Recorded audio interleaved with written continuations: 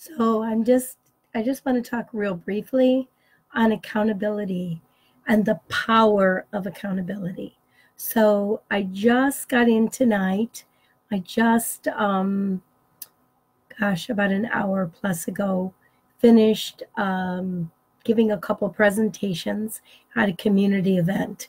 And it was a reminder to me this evening as I was speaking how much of a better person I am because of not just being willing to be accountable, but having people who have the character and the integrity at my level or greater that I can be accountable to. A rising tide raises all ships, but only if you're noticing where the other ships are on the water. There's something to be said for accountability. Relationships improve because of accountability to each other.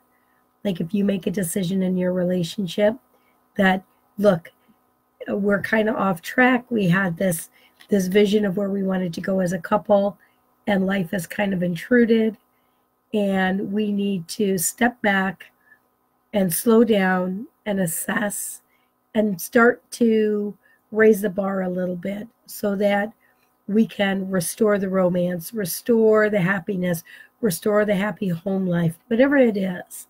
But you you're accountable to your spouse then, or you're accountable to your partner. You if you can be accountable to other business leaders, you will excel in business. If you're accountable to uh, a mentor who has the kind of relationship that you'd like to have, or is at the next level of relationship that you're seeking to get to, your relationship will improve.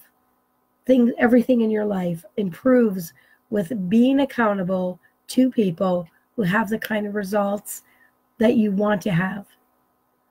And I was reminded of that this evening as I presented to this amazing community that invited me to come in to present.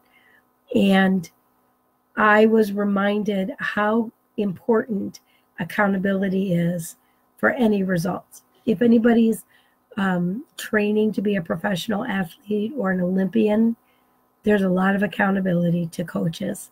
If we just treated our life a little bit like that, most of us would have way bigger and way better results.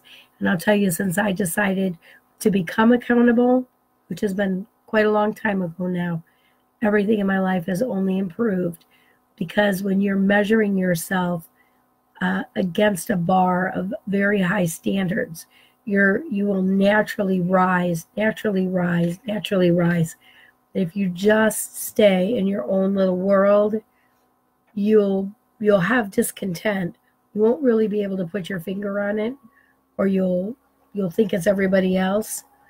The key here is for you to decide to be accountable to someone, for you to decide it's time for me to learn some principles. It's time for me to claim the the the happiness, to claim the relational happiness that I know that I deserve. And hook yourself up with a mentor. Be accountable. It's a game changer.